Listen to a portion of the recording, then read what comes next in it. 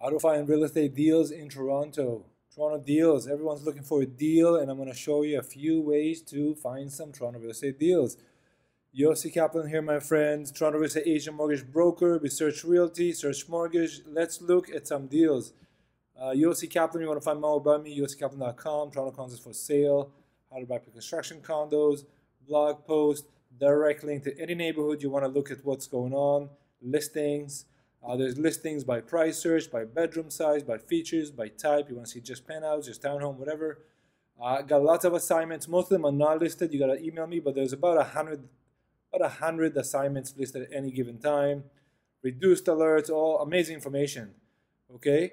Um, if you bought a condo the last three years and you haven't applied for the HST rebate, uh, we're launching a service to help you do that. You can do it by yourself. You can do it through myself and one of my associates rebateontario.ca. Rebateontario.ca. Okay, how to find deals. So go to torontocondosforsale.com. That link will wait for you. Um, that is what you're going to see. I change that website all the time. There's a great website. It's got lots and lots of information and some serious, serious programming and database behind it. The easiest thing to do is to start searching, and you can search by city, neighborhood, address, school, postal code, or MLS number. Um, just to make things easy, let's look at 560 King Street West in Toronto. There it is. And King Street is a popular name in Ontario, obviously. So let's search. And if you logged in, um, you'll see this uh, screen. If you're not, you may need to log in. That's all good. And you start with this uh, list here. And now we're going to do, we're going to start um, skimming around. So I want to see only the condos, okay? I want to see only the for sale but not for rent, so only the red, not the blue. And the price range, I want to see anything from, uh, say, from 500,000 up.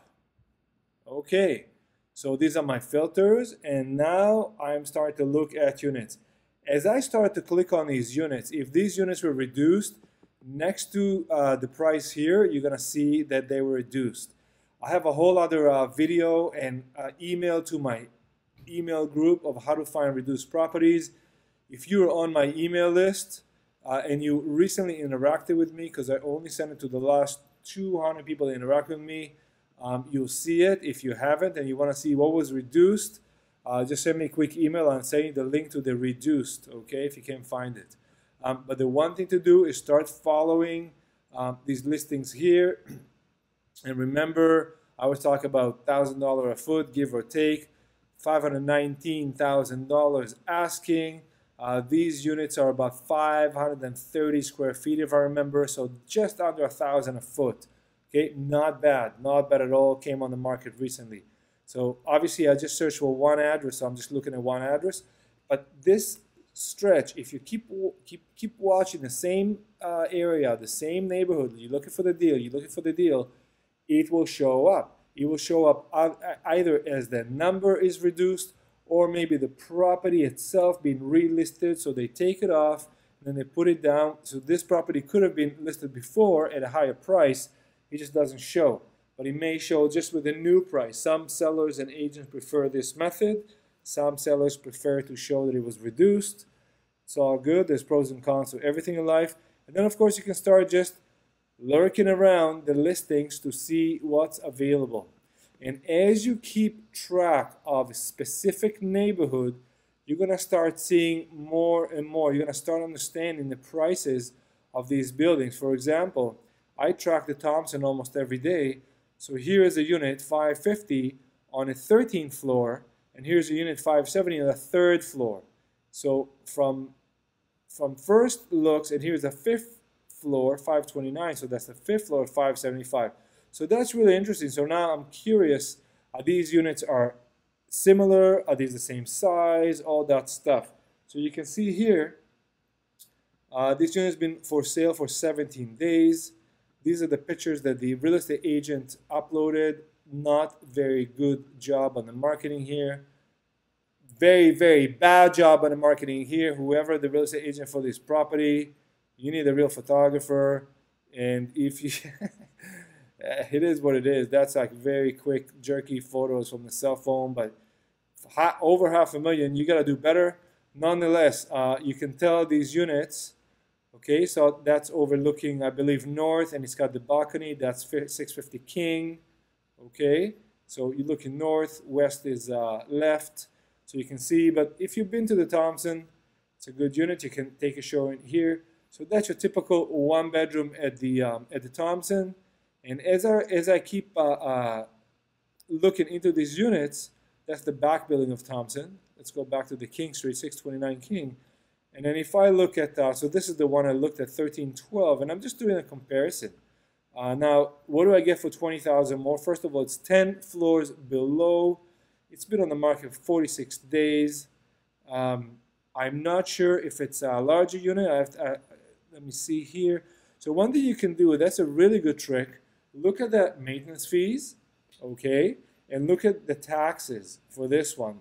So 384 a month for the maintenance fee for this unit and 2163 so you know 180 or so dollars a month that's not bad uh, but they're asking a little more they're asking a little more for this unit uh, it does seem to me very very similar so in this case either the dollar per foot is higher which means that the 13th floor is a better deal because we're looking at how to find deals or there's maybe something unique about this unit that we don't know about so um, easy, easy comparison, and this is how I find the deals. I compare the maintenance fees, 384, because that will give me an idea. Now it's got a locker here. I don't think it's got parking, but it does have a locker here. You can see even the uh, the schedules. It was rented, it was sold, all that stuff, and locker owned.